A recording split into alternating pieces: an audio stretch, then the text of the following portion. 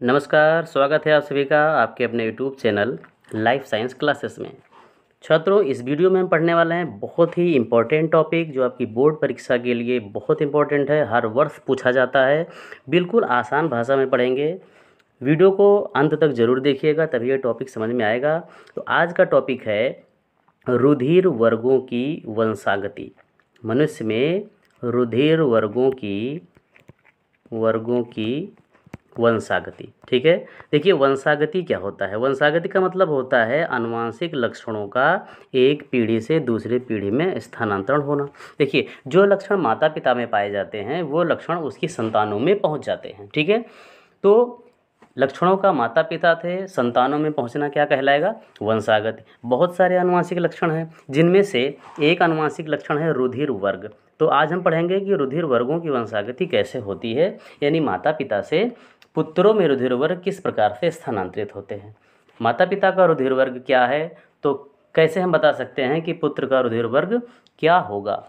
तो वीडियो को स्किप मत कीजिएगा, अंत तक ज़रूर देखिएगा। देखिए, एक साइंटिस्ट थे जिनका नाम था Landsteiner, Karl Landsteiner. Landsteiner ने मनुष्य की जो आरबीसी है, इस पर इन्होंने दो प्रकार के एंटीजन की खोज की, एंटीजन ए और एंटीजन बी। इन्होंने बताया कि एंटीजन ए और बी उपस्थित होते हैं। किसी व्यक्ति में एंटीजन ए उपस्थित होता है, किसी में एंटीजन बी उपस्थित होता है। तो इसकी एंटीजन ए और बी की उपस्थिति के आधार पे लैंड स्टीनर ने A B O blood group system दिया। कौन सा सिस्टम दिया? A B O blood group system ठीक है? A B O blood group system के अनुसार मनुष्य में चार प्रकार के रुधिर वर्ग पाए जाते हैं। रुधिर वर्ग ए रुधिर वर्ग बी रुधिर वर्ग ए बी और रुधिर वर्ग ए। किसके अनुसार? कार्ल लैंड स्टीनर के A B O blood group system के अनुसार मनुष्य में चार प्रकार के रुधिर वर्ग होते हैं। A blood group, B blood group, A B blood group और ओ ब्लड ग्रुप। तो आइए हम समझते हैं कि ए ब्लड ग्रुप कौन सा ब्लड ग्रुप होगा, बी कौन सा होगा, ए बी कौन सा होगा और ओ ब्लड ग्रुप कैसा होगा। देखिए, मनुष्य में जो ब्लड होता है, ब्लड के दो भाग होते हैं। एक भाग होता है जिसको हम कहते हैं हीमेटोक्रिट। पहले भाग को क्या कहते हैं? हीमेटोक्रिट। हीमेटोक्रिट ठोस भाग होता है जिसमें R B Cs W B Cs और प्लेटलेट्स होती हैं। और दूसरा जो तरल भाग होता है, इसको कहते हैं प्लाज्मा। ठीक है? हीमेटोक्रिट का जो अधिकांश भाग होता है, वो आर बी सीज होती हैं। आर बी सीज की संख्या कितनी होती है? इनका जो परसेंटेज होता है, लगभग ये पचपन प्रतिशत आर बी सीज पाई जाती है। ठीक है? पचपन लाख प्रति घन मिलीमीटर, पचपन लाख प्रति घन मिलीमीटर आरबीसी होती हैं। सबसे अधिक संख्या में आरबीसी पाई जाती हैं। इसमें हीमोग्लोबिन होता है, इसलिए ये लाल रंग की होती हैं और इन्हीं आरबीसी के कारण रक्त का रंग लाल रंग का दिखाई पड़ता है। तो लैंड स्टीनर ने बताया कि जो ह्यूमन का आरबीसी है तो आरबीसी की सतह पर एंटीजन पाया जाता है। यहाँ पर हम चार प्रकार की आरबीसी बना रहे हैं। इन्होंने बताया कि मनुष्य में, ऐसे मनुष्य जिनके ब्लड की सभी आरबीसी पर, ऐसा नहीं कि कुछ आरबीसी पे एंटीजन हो, कुछ आरबीसी पर भी एंटीजन हो, जितनी भी आरबीसी ब्लड में पाई जा रही हैं, अगर सभी आरबीसी पर एंटीजन ए पाया जा रहा है तो ऐसा blood group A blood group कहलाएगा। हम एंटीजन ए को कुछ इस प्रकार से डिनोट करते हैं। तो ये कौन सा ब्लड ग्रुप होगा? ये ब्लड ग्रुप होगा ए कौन सा? ए ब्लड ग्रुप क्यों होगा? क्योंकि इसकी आरबीसी पर एंटीजन ए पाया जाता है।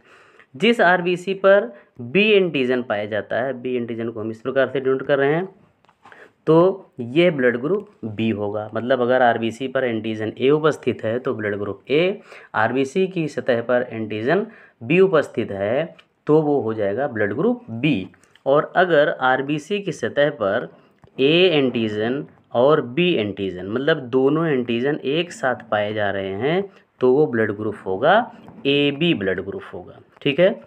अगर आरबीसी पर कोई एंटीजन नहीं है, इस आरबीसी पर कोई एंटीजन नहीं है तो ये ब्लड ग्रुप हो जाएगा ओ ब्लड ग्रुप तो एंटीजन ए और बी की उपस्थिति के आधार पे ही कार्ल लैंड स्टीनर ने एबीओ ब्लड ग्रुप सिस्टम बनाया और एबीओ ब्लड ग्रुप सिस्टम के अनुसार चार प्रकार के ब्लड ग्रुप होते हैं ए बी ए बी और ओ जिस आरबीसी की सतह पर एंटीजन ए होगा, उसे ए ब्लड ग्रुप कहेंगे। जिसकी सतह पर एंटीजन बी होगा, उसे बी ब्लड ग्रुप कहेंगे। जिस आरबीसी की सतह पर एंटीजन ए और बी दोनों होंगे, उसे ए बी ब्लड ग्रुप कहेंगे। और जिस आरबीसी की सतह पर कोई एंटीजन नहीं होगा, उसे ओ ब्लड ग्रुप कहेंगे। तो ये चार प्रकार के ब्लड ग्रुप ह्यूमन में पाए जाते हैं। अब इसको हम एक चार्ट के माध्यम से यहाँ समझते हैं। ठीक है? देखिए, चार प्रकार के एंटीजन दो प्रकार के एंटीजन होते हैं और इससे चार प्रकार का ब्लड ग्रुप बनता है। अगर आरबीसी की सतह पर एंटीजन ए है तो उसका ब्लड ग्रुप होगा ए अगर आरबीसी की सतह पर एंटीजन बी है तो ब्लड ग्रुप बी आरबीसी की सतह पर एंटीजन ए बी है तो ब्लड ग्रुप ए बी और अगर कोई एंटीजन नहीं है तो ब्लड ग्रुप ओ होगा, ठीक है? तो एंटीजन के अगेंस्ट हमेशा एंटीबॉडी बनती हैं। ये एंटीबॉडी कहाँ पाई जाती हैं? रक्त के प्लाज्मा में। तो समान एंटीजन के लिए समान एंटीबॉडीज़ नहीं होती हैं। तो यहाँ पर जो एंटीजन ए है, इसकी प्लाज्मा में एंटीबॉडी बी पाई जाएगी। और एंटीजन जो ब्लड ग्रुप बी है, यानी जो एंटीजन बी है, उसके अगेंस्ट जो एंटीबॉडी बन रही है, वो प्लाज्मा में पाई जाएगी। वो कौन सी एंटीबॉडी होगी? A A B blood group में कोई एंटीबॉडी नहीं होगी और चूँकि ओ ब्लड ग्रुप में एंटीजन यहाँ पर नहीं है, इसलिए इसकी प्लाज्मा में दोनों प्रकार की एंटीबॉडी ए और बी पाई जाएगी। तो ये हो गया चार प्रकार के ब्लड ग्रुप और इसमें कौन से एंटीजन और कौन कौन सी एंटीबॉडी होती हैं, इसको आप यहाँ से समझ सकते हैं। ठीक, यही चीज़ इस चित्र के माध्यम से दिखाया गया है। ये है आरबीसी तो आरबीसी की सतह पर ये जो पिंक कलर का स्पाइक दिख रहा है, ये ए एंटीजन को शो कर रहा है। तो आरबीसी की सतह पर अगर ये ए एंटीजन है, सिर्फ़ ए एंटीजन तो ब्लड ग्रुप हो जाएगा ए ठीक है? और अगर आरबीसी की सतह पर एक ग्रीन कलर का स्पाइक दिख रहा है, ये पाया जा रहा है, यानी कि बी एंटीजन है तो ब्लड ग्रुप बी होगा। और अगर आरबीसी की सतह पर दोनों, यानी कि ए और बी दोनों एंटीजन एक साथ पाए जा रहे हों तो ब्लड ग्रुप ए बी होगा।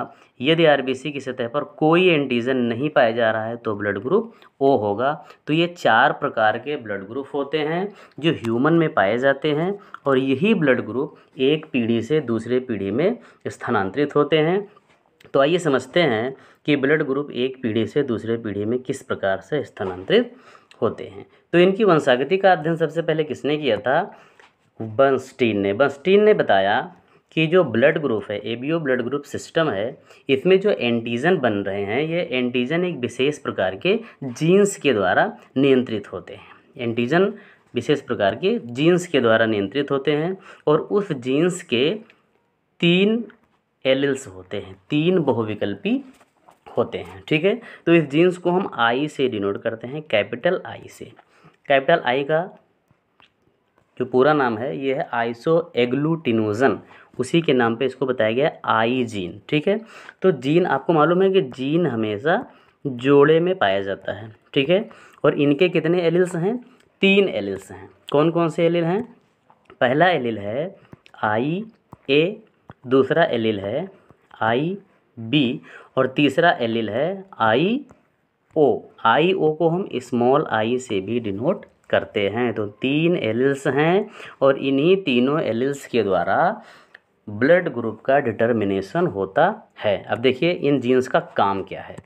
जो आई ए जीन है, ये आर बी सी की सतह पर एंटीजन ए बनाती है। आई बी जीन है, ये आर बी सी की सतह पर एंटीजन बी बनाती है।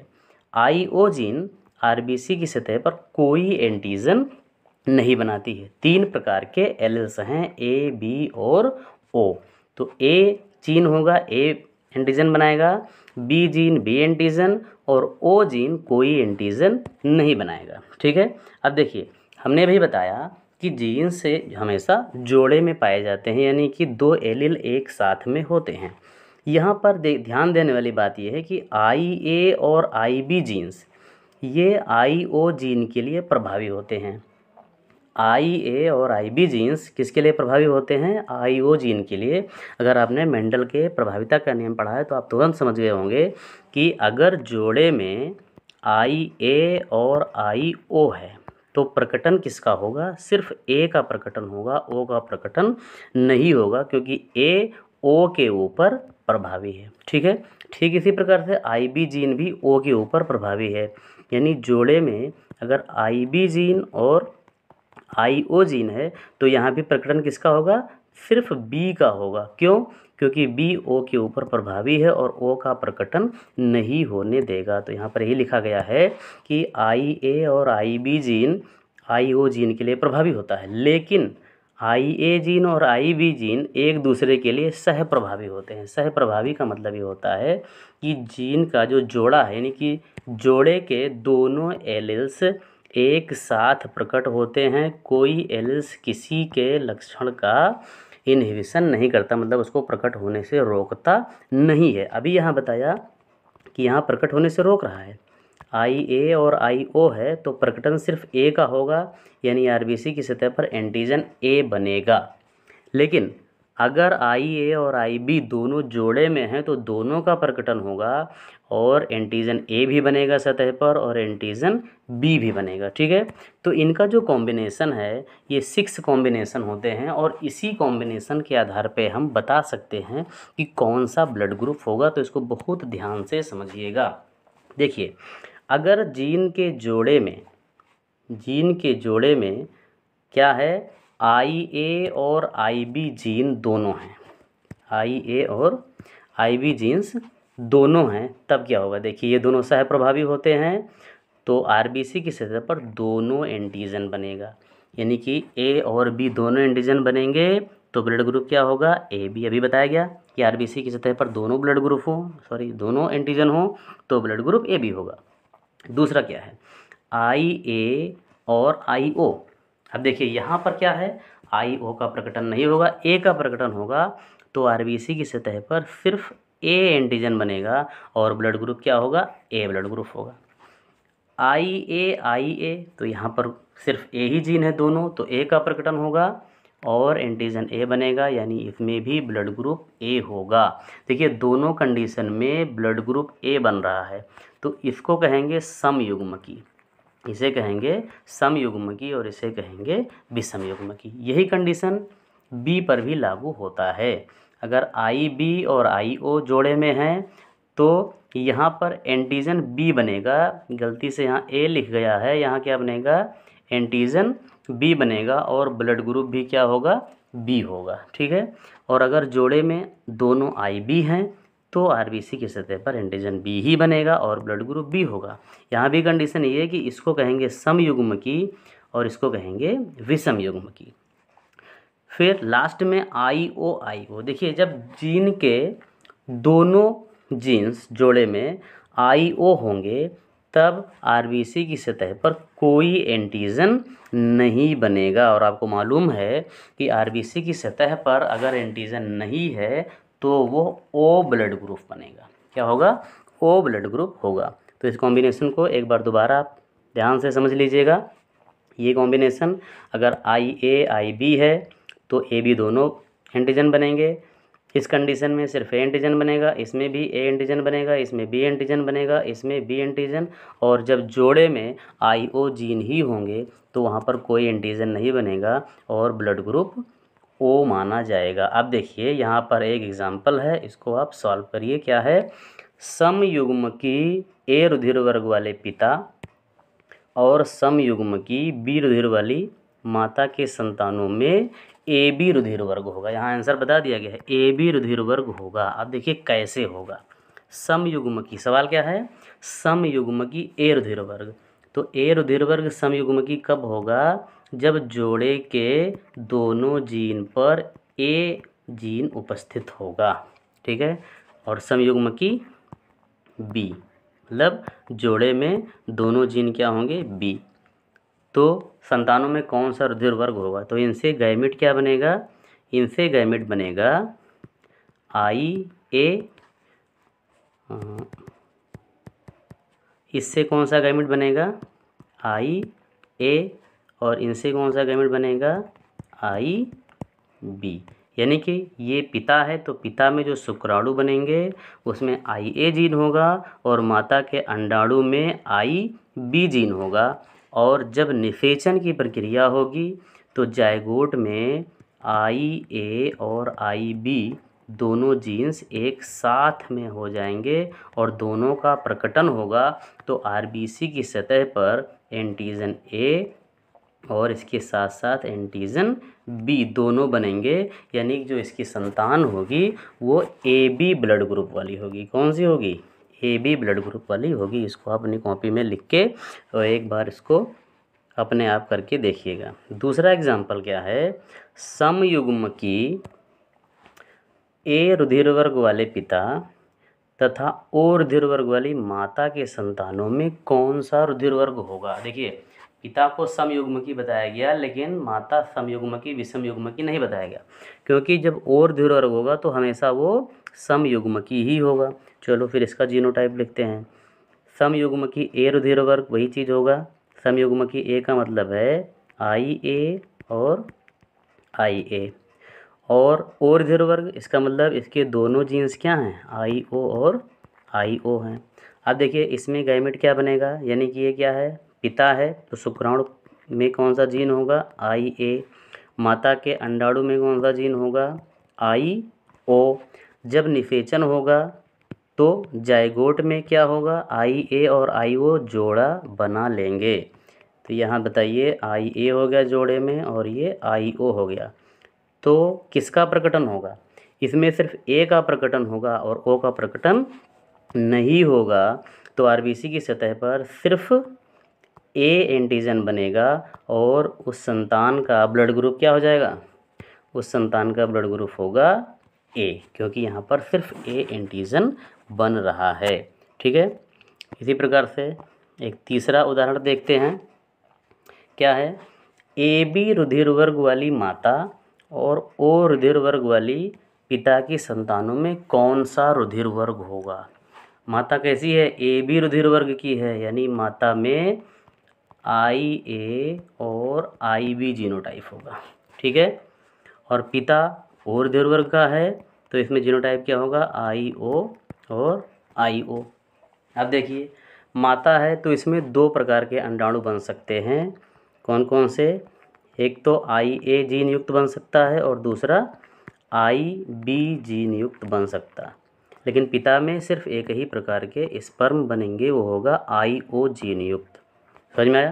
देखिए, यहाँ पर दोनों जीन समान हैं। ये दोनों जीन समान हैं तो इसलिए यहाँ पर दोनों में से सिर्फ़ आई ओ बनेगा। यहाँ पर ए और बी दोनों जीन हैं तो अंडाणु ए जीन वाला भी बन सकता है और बी जीन वाला भी बन सकता है। अब निषेचन की प्रक्रिया में यदि शुक्राणु आई बी जीन से मिलता है तो कॉम्बिनेशन क्या होगा? आई बी आई ओ क्या होगा? आई बी और आई ओ यानी कि ये रुधिर वर्ग हो जाएगा बी बी का ही प्रकटन होगा। और यदि शुक्राणु आई ए वाले अंडाणु से मिलता है तो कॉम्बिनेशन हो जाएगा आई ए आई ओ यानी ब्लड ग्रुप क्या हो जाएगा? ए ब्लड ग्रुप हो जाएगा। तो इस प्रश्न का उत्तर क्या होगा? ए बी रुधिर वर्ग वाली माता और ओ रुधिर वर्ग वाले पिता की संतानों में कौन सा रुधिर वर्ग होगा?